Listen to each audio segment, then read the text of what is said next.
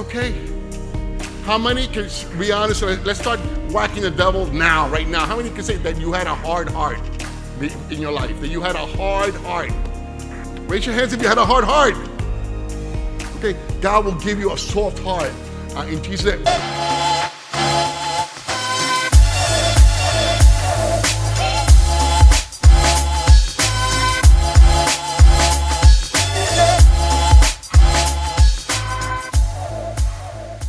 Amen.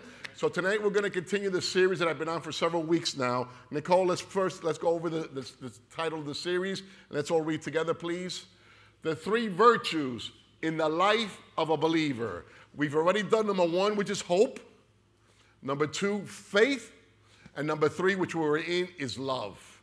Uh, before, you know, a lot of Christians, and we know that God is love, and they want to talk about love, talk about love, talk about love. But before we can talk about love and really learn how to love correctly, we need to learn about hope, which we've learned already. We've learned about faith, which is so important because without hope, without faith, you're not going to be able to love the way God wants us and expects us to love and commands us to love in Jesus' name. Amen. So our, our, our foundational scripture for this series is 1 Corinthians chapter 13, verse 13 from the TPT, the Passion Translation Bible. And let's all read it together, please. Ready? Let's read. Until then, there are three, wait, can we all read together, please? Ready? Let's read.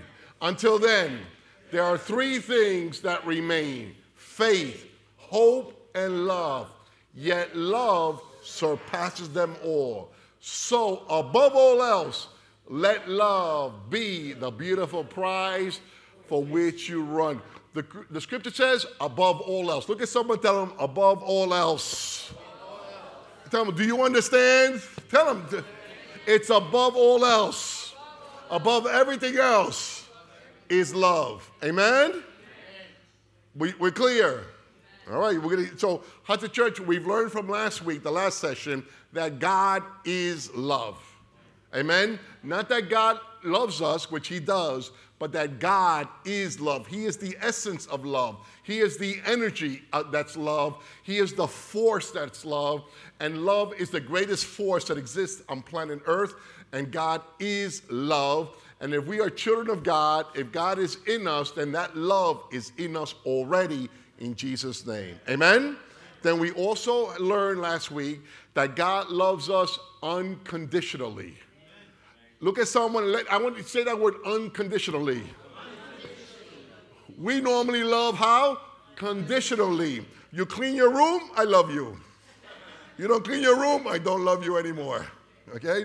You provide the rent, you pay the rent, I love you. You don't have money to pay the rent, get out of here. I don't love you anymore.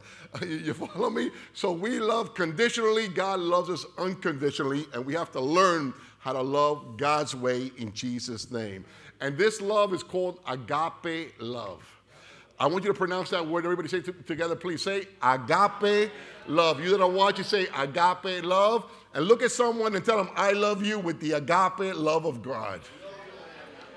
I love you with the agape love of God. Amen? Did you mean that? You bunch of little liars, some of you.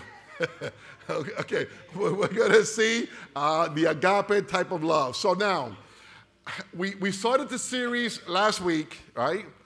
And people, you know, it, it takes, a, I, I need a couple of sessions because love is so big and so important for us to build on it and for us to learn. But we have a chance on the Tuesday night sessions that people ask questions or make comments on the lesson. And right away, when I finished the lesson, someone came up and they said, Oh, but in order to love God, you know, it's impossible to love God, uh, I mean, to love people the way God loves us. And God will never tell you to do something that is impossible. If God tells you to do something, it is because He will equip you to do it. And God is not asking us to do it, He is commanding us to love like He loves us in Jesus' name. Look at someone and say the word, it is a command, not a request that you love me. Look at the setup. Amen?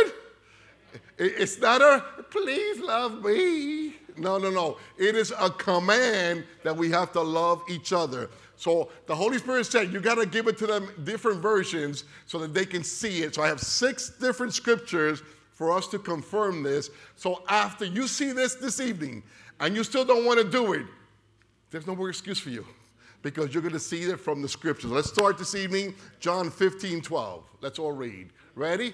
Let's all read. Ready? This is what? My request? This is my commandment that you love one another as I have loved you. Is that clear enough? But sometimes our heads are not screwed on straight. So let's get another scripture. John 15, I'm sorry, John 13, 34. A new, let's all read. These got to come out of your spirits, everybody. Ready? A new commandment I give to you that you love one another as I have loved you, that you also love one another. Is that clear? Verse 35. By this, all will know that you are my disciples if you have love for one another. Don't tell people that you're a Christian. Demonstrate to people that you're a Christian. You don't need a tattoo that says you're a Christian. You don't need to have scriptures on you. You don't need a t shirt that says uh, uh, you're a Christian. You don't need a bumper sticker. You need to demonstrate that you're a Christian by the love that you have for people in Jesus' name. Amen? Some of you are, yeah, yeah, yeah, yeah, yeah, yeah. Get over yourselves, Hudson Church. This is a commandment. Amen? But just in case, John 15, 17. Let's all read. These things I command you that you love one another. These are not, I'm not repeating the same scriptures. These are different scriptures that I'm giving, all right? 1 Thessalonians 4 9 from the Amplified. Let's all read together. But concerning brotherly love for all other Christians, stop. Brotherly love for who? Do we know Christians that don't have a problem with other Christians? That don't love other Christians? That are against other Christians? And they think that they're doing okay. Folks, this is blocking your blessings. Uh, and God wants you to be able to flow in all the blessings. And Hudson Church, in 2022, we need to flow in our blessings to make a difference in Jesus' name. And don't let your love walk block your blessings in your life in Jesus' name. Amen. Let's all read. Let's go. But concerning brotherly love for all other Christians, you have no need to have anyone write you, for you yourselves have been personally taught by who? By God. How can you say that you know God and you don't love people? He says it by God, not by people, not by pastors. It says by, taught by God to love one another. So if you say that you have God in you, that you believe in Jesus, you got to have love because it's in you, or else what are you confessing with your mouth? Amen? All right, I lost some there. 1 Peter 4 8. Let's all read. And above what? All things have what? Fervent love for one another. For love will cover a multitude of sins fervent love. You know what that means? A hot love. Do you remember when you, you first met, uh, when you were going out with someone? How was that love? Uh, you hang up, I hang up, we hang up at the same time on the phone, right? right? Who did that? Who, who was that? Yeah. Then after a while, now, please, how many times you gonna call me? I already spoke to you 10 times already. Please, I'm still here, I'm still alive, still my number, leave me alone. Okay? So fervent love. So what was fervent love with God? That you want to read the Bible, that it's not causing you to come to church. He said, man, I get to go to church, not that I have to come to church. I get to pray. I get to bless. I get to love my brothers and sisters in Jesus' name. Above all things, have fervent love for one another, for love will cover a multitude of sins. And if you love someone, Hudson Church, your love will cover people. We'll put a blanket of covering them uh, uh, on them in Jesus' name. I remember a few weeks ago, I forgot who it was, one of the ministers, I think it was Minister John, uh, where he shared about, um, it, it, was Noah, and it, no, uh, Adam with his sons, no, uh, the two sons, that they covered his nakedness. It was Noah. It was Noah. So uh, they saw, the father got drunk, naked. How, how many people have, have, have, had a little bit much to drink in, in their lives? Am I the only one? Okay. Have you had so much that you go drunk in the streets? okay. So he was drunk, okay? And his son saw him, and one son saw him, and he goes back to the other one. Look at our father. Look at that joker over there. Look at him drunk on the street. Right? And his other two sons, they went backwards with, with a cloth to cover their son, their father's nakedness because they didn't even want to see, and they covered the father's nakedness. That's love. When you're putting people's garbage and, and, and, sins out there in the street, that is not love. Okay, it says love will cover a multitude of sins. Some don't like it, argue with the scriptures. That's what the scripture says there uh, in Jesus' name. Amen. Now, praise the Lord on that. Give to me from the Amplified Version just in case. Ready? Above all things, have intense and unfailing love for one another. For love covers a multitude of sins, forgives and disregards the offenses of others. Wow, man. If you really get that into your heart, man, you, you're on your way to dynamite uh, blessings, explosions in your lives in Jesus' name. Amen. You want to hold on to your old ways?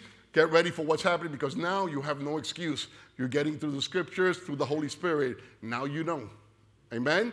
1 Thessalonians 3:12. Ready? And may the Lord make you what? Increase and abound in what?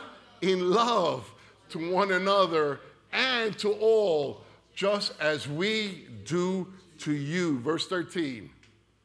So that he may establish your hearts blameless in holiness before our God and Father at the coming of our Lord Jesus Christ with all his saints. It's a hard matter, Hudson Church. And, and, again, if you have not love for people, your heart is hard, and you need to deal with that hardness of heart uh, in Jesus' name. Amen. Verse 13. Uh, give it to me from the right?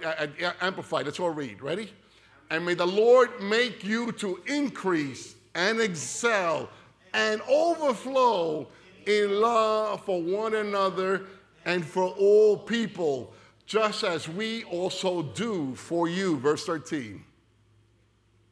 Please, 13 amplified. Ready? So that he may strengthen and confirm and establish your hearts faultlessly pure and unblameable in holiness in the sight of our God and Father at the coming of our Lord Jesus Christ, the Messiah, with all his saints. Who's that? The holy and glorified people of God. Amen. So be it. Amen. So, Hudson Church, we just read to love one another in six different scriptures. God is crystal clear on this command, not suggestion, command. Can I get an amen on that? Amen. Good, someone applaud. You should applaud, man. Get this out of your system in Jesus' name. Amen? So let me ask you a question. So, why do we have a hard time obeying this? Why do we fight against, rebel, argue, try and reason? But God, you don't know what they did to me. But God, you don't know uh, and come up with excuses instead of obeying his commands. Hudson Church, we need to stop with the excuses, with the rebelliousness, and just obey this command in Jesus' name. Amen. My brothers and sisters, not loving each other is the second greatest sin that we can commit. Not loving each other is the second greatest sin. Matthew 22 36. Let's confirm this. Teacher, which is the great commandment in the law? 37. Jesus said to him, You shall love the Lord your God with all your heart, with all your soul, and with all your mind. 38. This is the first and great commandment. 39. And the second is like it you shall love your neighbors as yourself. So the first commandment that we all have is, and that we can break, is not accepting Jesus as our personal Lord and Savior. If we don't accept Jesus as our personal Lord and Savior, we will not be born again. We will not be saved. We will not have to, uh, the right to spend eternal life in heaven. You're going to have eternal life, but in hell, uh, and, and, you're going to be tortured for in, uh, infinity so that is the number one thing that we all as believers need to do is accept Jesus. And then the second one is that we can break is not loving other people as God has commanded us to love.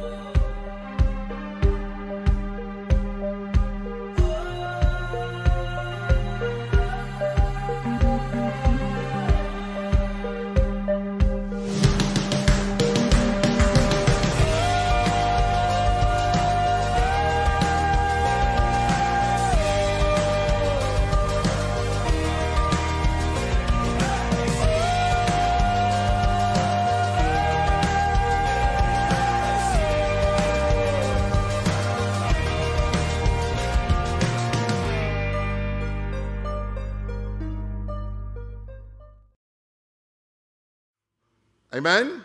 So, Hudson Church, we must, and again, we must renew our minds in order to love like God commands us to. With our own mind, old mind, you will not do this. You need to renew your minds. Romans 12, 2. Romans 12, 2. Quickly, please. Let's read. And do not be conformed to this world, but be transformed. How? By the renewing of your mind, that you may prove what is that good and acceptable and perfect will of God. Look at someone tell them, please renew your minds. And tell them, just in case, tell them, just in case, you need to re- renew your minds. Okay? You need to renew your minds watching, okay? Let's read it from the Amplified Version. Ready? Let's all read. Come on. Do not be conformed to this world, to this age, fashioned after and adapted to its external, superficial customs, but be transformed, changed by the entire renewal of your mind. What does that mean? By its new ideals and its new attitude, so that you may prove for yourselves what is the good and acceptable and perfect will of God, even the things which is good and acceptable and perfect in His sight for you. We need to renew our minds. We cannot think the way we used to think. We cannot think like mommy and daddy, grandma, poobah, whoever it was. We got to renew our minds and think the way God tells us to think in Jesus' mighty name. It's just a one time event. This is a continual event. You got to be constantly renewing your mind because today is renewed and tomorrow you go back thinking your old ways. So you have to be constantly renewing your mind in Jesus' name. That's why it's so important to come to Bible study to come to Sunday service, to read your Bible daily, to pray in the Holy Ghost if you have your spiritual prayer language, to, to fellowship with believers so you can be constantly renewing your minds in Jesus' name. Because all day long, the enemy is doing his best to get us to think back the way the world thinks through TV, social media, our jobs, wherever we, when we deal with the world system, it's to get us back to thinking their ways, and we have to be constantly renewing our minds in Jesus' name. Amen? So, Hudson Church, uh, Holy Spirit wants us to understand this that we must make a decision to love people no matter what. It's a decision. So, when you wake up in the morning, you say, I'm going to love people no matter what in Jesus' name. And when you declare that, get ready to be tested. Probably before you leave your house, you're going to have a chance not to love somebody in your house, a neighbor, or someone, because if you make something, the devil will try and get you to back off of that uh, in Jesus' name. Amen. So look what the Bible says, Hudson Church, as I was preparing for this lesson for tonight on love. If you love those who just love you, that means nothing to God. If you love those who love, love you, it means nothing. We're supposed to do that. Luke 6:32, amplified. Look at this. Read. Let's ready. I want everybody to read together. Ready? If you merely love those who love you, what quality of credit and thanks is that to you? For even the very sinners love their lovers, those who love them. So you ain't doing nothing by loving the people that love you. I want you to say lie. Think of that. If you just love the people who love you, you're supposed to. When a father, a um, husband, he loves his wife, you're supposed to love her. When a father says he loves his children, you, you want a pat on the back? You're supposed to be loving them. When the parents say, kids say, I love my parents, you're supposed to love them. You're not doing anything above and beyond. You're supposed to love them. Uh, It got quiet in this Presbyterian church. Huh? Verse 33. Ready? And if you are kind and good and do favors to and benefit those who are kind and good and do favors to and benefit you, what quality of credit and thanks is that to you? For even the preeminently sinful do the same thing. Wow. Wow. This is important, Hudson Church, uh, that we have to step up our love game. Uh, the Bible teaches in these last days that our love is going to grow cold. And we need to be constantly shaking up that love. If you have a fireplace, you know that you can start a fire with two logs, three logs, and it starts beautiful, but after a while it dies down. The same way with our love walk. You have to stir it up. You got to move that wood. You got to add more wood to it because our love, because of the pressures of this world, will grow colder and colder, and we have to constantly be stirring it up uh, on a daily, hourly basis in Jesus' mighty name. Amen? As I shared with the men, uh, what's harder, to get married or to stay married? Stay married. Okay? So, so remember, you gotta, you gotta be working at it in Jesus' mighty name. Amen? Psalms 8, uh, 2 8. Oh, I'm sorry, before I get there, take that over a second. I just want to make sure. We must ask God for help, and that's okay. If anybody here tonight has a problem with loving, God knows that you have a problem, and all you have to do is just, God, I need help in my love walk, and God will be faithful to help you tonight in Jesus' name. But don't be arrogant. Don't say, I'm good to go, when you know I need help in my love walk because I want to strangle people instead of loving people. Amen. Ask for help. The Bible says that you have not because you ask not. So get off of your pride, get off your high horse. Say, God, I need help in this area of my life. And God will not judge you, He'll help you in Jesus' name. Amen.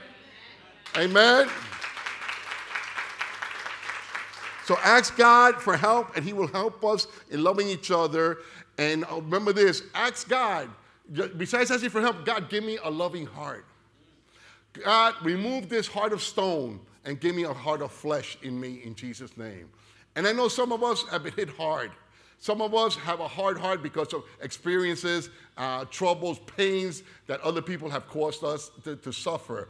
But God knows that, and God will replace that hard heart and give you a soft, fleshy heart. But you got to ask Him for that by faith in Jesus' name. Amen? Let's, now let's look at the scripture Psalms 2 8. Ready? Ask of me, and I will give you the nations for your inheritance and the ends of the earth for your possessions. One thing I ask God in the morning God, send me people that I can love in Jesus' name. Bring people into my life that I can love in Jesus' name. Some of you say, God, I don't want to see nobody today, and I'll thank you if I see nobody today in Jesus' name. no, ask God to give you people to love in Jesus' mighty name. Amen? So that's ask for the nations so that we can love people in Jesus' name. Amen? Ezekiel 36. Ezekiel who? 24. Let's all read. For I will take you from among the nations and gather you out of all countries and bring you into your own land. God has brought us into our own land, Hudson Church. 25. Then I will sprinkle clean water on you. Isn't that good? Poof. Clean water on you right now in Jesus' name. Amen? And you shall be what? Clean. We're cleaned already by the blood of Jesus, Hudson Church. Amen? I will cleanse you from what? From all your filthiness and from all your idols. How many here were filthy? How many of us had idols? And idols, anything you have above God that, that, you, that had all your attention in regards to He'll cleanse you from all our filthiness and from all your idols. Stop saying, I'm a good person. I never did nothing wrong. There's no one that's good except the Lord Jesus. We all were filthy and we all need cleansing. Amen? All of us, not only me. Amen? Verse 26. I will give you what? A new heart and put a new spirit within you. I will take the heart of stone out of your flesh and give you a heart of flesh. Some of us need a heart transplant, and that's okay. How many can be honest? Let's start whacking the devil now, right now. How many can say that you had a hard heart in your life? That you had a hard heart? Raise your hands if you had a hard heart. Okay, God will give you a soft heart. uh, in Jesus' But now, what's the problem? Some of us, are, I don't want a soft heart because I don't want to be hurt again. And, and that can happen, Uh, okay? But, but you have to learn how to trust and walk in the ways of God, walk according to the Spirit, and God's protection will come. And I can't, I would be lying to you. I would say that hurt is not going to come your way because nobody can guarantee that. But take a chance again, trust in what the Lord says in Jesus' name. Amen? Trust in the Lord, Hudson Church. He will never forsake us or forgive us. So, because the time is coming out, we need help from the Holy Spirit in order to love each other. We need help. After getting a new heart, now you need the, the blood, you need the Holy Spirit to pump that heart and to help you do it. 1 Peter chapter 1, verse 22, amplified. 1 Peter chapter 1, 22, amplified, please. Wait, it's all read. Since by your obedience to the truth, through the Holy Spirit, you have what? Purified your hearts for the sincere affection of the brethren. See that you love one another fervently from. Has anybody said to someone, I love you, but you're thinking about what they did wrong to you? Yeah, I love you. Yeah, I love you. But you're, you're playing in your record everything they did to you. That's not a pure heart, that's in church. You can fool that person, you can fool yourself, but you can't fool God. It's got to be from a pure heart. We need to let it go once and for all in Jesus' name. Amen? Amen. Uh, Luke 11, uh, let me just see because my time is going. Uh, skip down John 16, 13, please. Quickly, John 16, 13. Can I get a little bit more time the church? Can I get about three more hours? No, because I don't have it, so don't worry about it. So I'm not going to give it to you. I, I, that means I don't love you guys. No, that means I got to go somewhere. Go. Ready? Let's read. However, when He, the Spirit of truth, has come, He will guide you into all truth. For He will not speak on His own authority, but whatever He hears, He will speak, and He will tell you of things to come. talking about the Holy Spirit, Hudson Church. Verse 14. He will glorify me, for He will take up what is mine and declare it to you. Verse 15. All things that the Father has are mine. Therefore, I said that he will take of mine and declare it to you. Romans 5 5. Love is being poured into our hearts right now by faith in Jesus. Do you receive it? Let's all read. Now, hope does not disappoint because the love of God has, has been what? Poured out in our hearts by who? By the Holy Spirit who was given to us. You cannot say you have the Holy Spirit and you, and you don't have love. That does not compute, that does not go together. That is a lie.